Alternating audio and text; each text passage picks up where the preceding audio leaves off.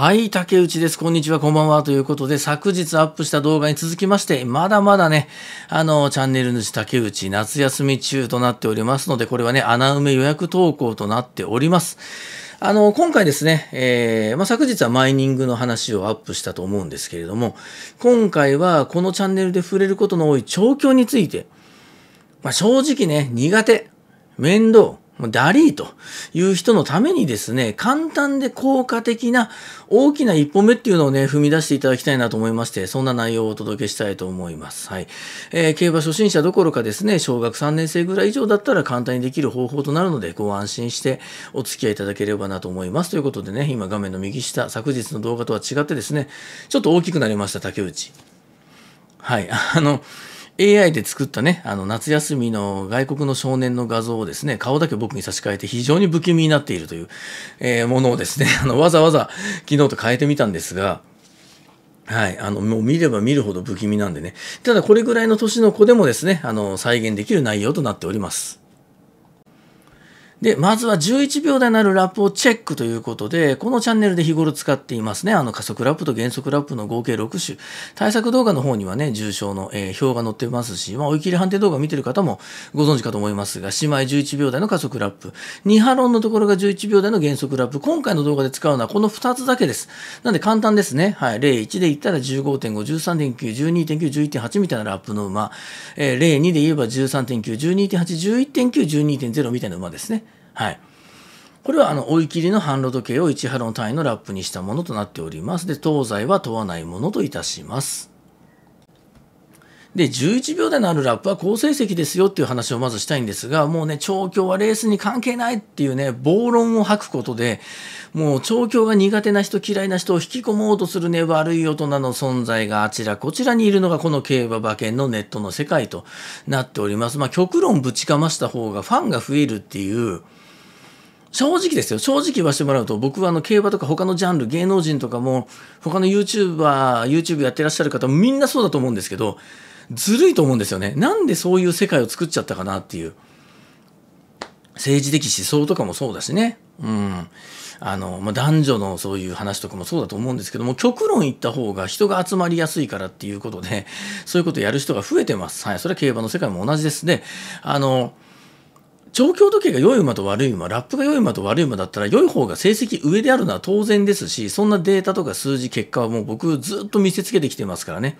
はい。で、次に、あの、リリースされるね、10月にリリースされる競馬の本にも、こういうことは詳しく書いてありますが、で先ほどの11秒台加速と減速ラップの馬です。そんだけですよ。他に何も手を加えない。平均で勝率が13.1%、単幅の回収が85%前後あるので、まあ、多くの競馬ファンが1年間、必死に頑張って予想して、あの、馬券買ってるわけじゃないですか。その人たちよりも、あの、これ買い続ける方が成績良いケースの方が多いですからね。それぐらい、あの、調教というのは馬券の収支にも直結するということになりますで、これを、あの、このチャンネルのね、うちのチャンネルのお得意分野である狙い目の厩舎。うん。例えば11秒台加速ラップだったら池添厩舎とかね、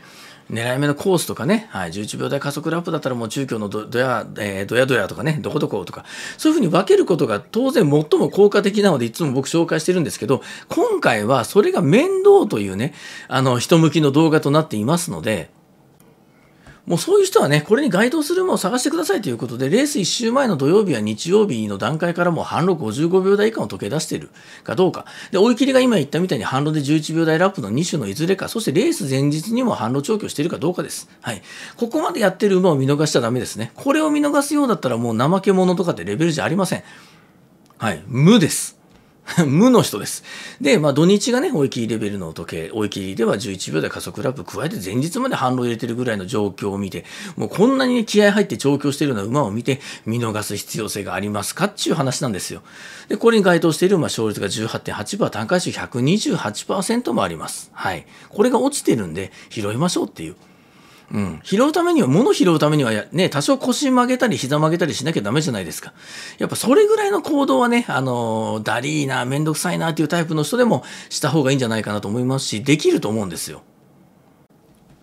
で、これね、土日からチェックするんじゃなくっていうところで、あの、面倒くさがりや人向けの内容なんで、はい。なんで、競馬を楽しんでる土日の開催中に、次の週に出るんじゃないかなっていう馬の土日の販路時計ね、55秒以下をチェックしろなんていうのは、これ NG ですよ。分かってます、僕も。はい。当たり前です。なので、手順としてはこういう形がベストです。これが一番早い。開催前日から当日に、えー、その日出走する馬の中で11秒台ラップの馬を見つける。もう少ないからね、こんなのすぐ見つけられると思います。はい。該当数少ないですから。でその馬が、見つけた中のね、その少ない馬の中から、まず前日、例えば土曜開催なら金曜、日曜開催なら土曜日に反論を入れているか否か、それを確認しますね。入れている馬はすぐ見つかりますよね。でここまではもうあっちゅう間で、そうなったらそこで残った少ないパイの中から、前の土曜日は日曜日に反論55秒台以下を出していたかっていうところを確認すればいいだけなんで、はい。なんで、あの、当日にすぐできます。はい。で、この手順だったら話が早いですね。はい、絞り込みっていうのはあの多く絞れるところから順番にやっていくのがセオリーなので、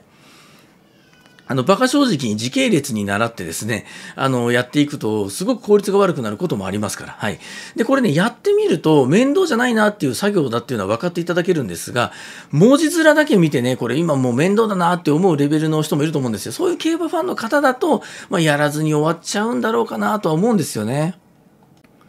まあ、そういう方を見ると僕はね前世は猫なんじゃないかな猫ちゃんなんじゃないかなと思う時があります、まあ、うちにも猫いるんですけれども、まあ、この画面に出してるのは違いますけどね。はいあのよく SNS にアップしてるうちの猫ちゃんもいますけどもう寝てばっかりですしね。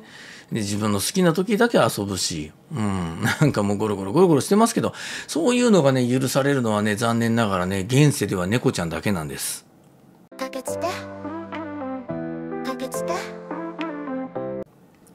さて、えー、途中で出てきましたけど、あの、調教タイムのラップの置き換えの計算について、まあ、あの、見見たらまあわかると思うんですけど、一応念のためにね、ご紹介しておこうかなと。競馬ファンの方で、特に競馬初心者の方っていうのは、あの、数字が並ぶと難しく考えすぎちゃって、もう絶対わかるはずなのに、わけわかんなくなっていってしまうんですよね。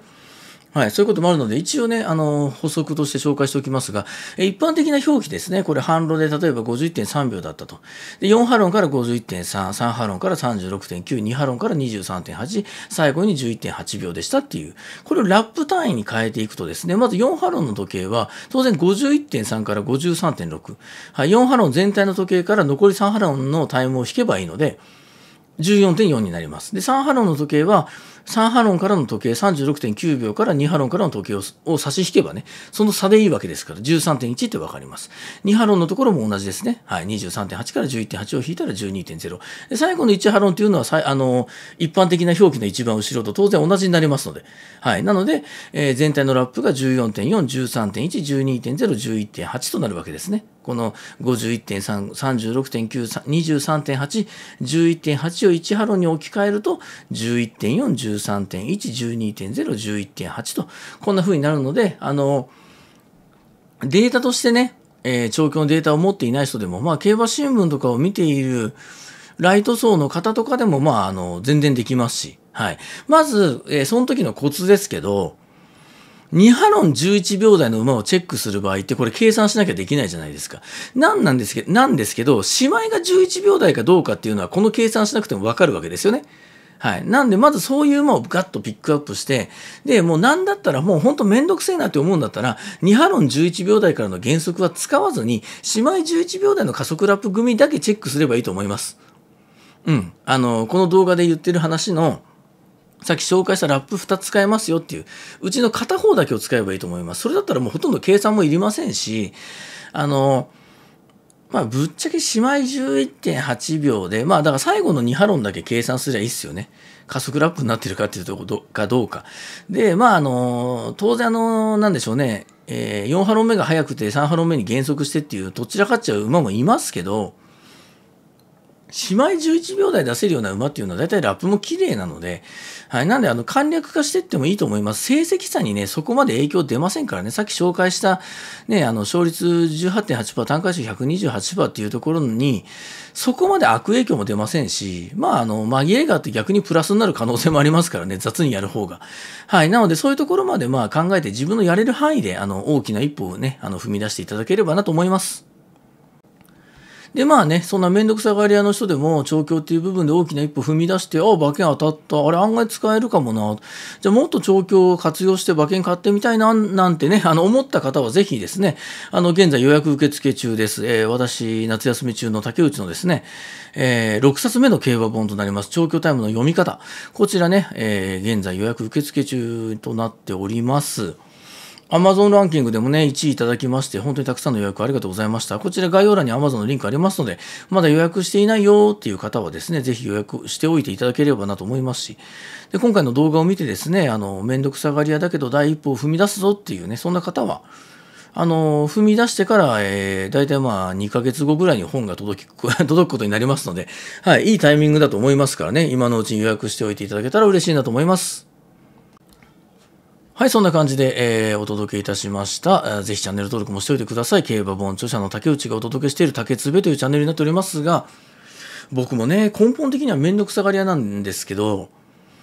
自分の好きなことならできますよね。競馬にしてもね、あの、めちゃくちゃ時間かけてますし。まあ、プロレスとかにしてもね好きすぎてやっぱりあの同じ試合をね何回も見直してあここがねあの勝負の分かれ目だったかなとかあここでねいつもと違うこのタイミングでこの技出すんだとかねチェックしてメモしてみたりですね無駄に。うんあとそうですね若い頃楽器やってた時とかねバンドやってた時だったらもうなんか曲作ってね打ち込みとかそういうのを作ってデモテープとか作る時だったら何日間も寝ずにできましたけどでもだんだんやっぱ時代がね時短時短とかっていうようになってねタイパ？タイムタイム的なコスパ？なんかよく言いますよね若い子たちの言葉で。でも自分の好きなことやるのにそこを考えちゃったらもう多分全然あの楽しめてないと思うんですよ本質的に。だからやっぱね自分の好きなことにはねあのそのコスパとかあの時間のどんだけ使うかとかっていうのは僕は考えない方がいいのかなと思いますし本当だったら本当に好きだったらあの、勝手に時間使えますよ、人間。はい。あとはね、そこにあの、なんでしょう、あの、やる気スイッチを入れる人が、入れることが苦手な人はね、そのスイッチをどう入れるかっていうとこだと思いますので、まあ、今回の動画がね、あの、誰かのそのスイッチをポチッと押すことになるのであれば、えー、まあいいかなと思ってアップさせていただきましたという感じです。で、えー、明日もですね、まだあの、夏休み中動画アップされますので、よろしければそちらもご覧ください。竹内でした。バイバイ。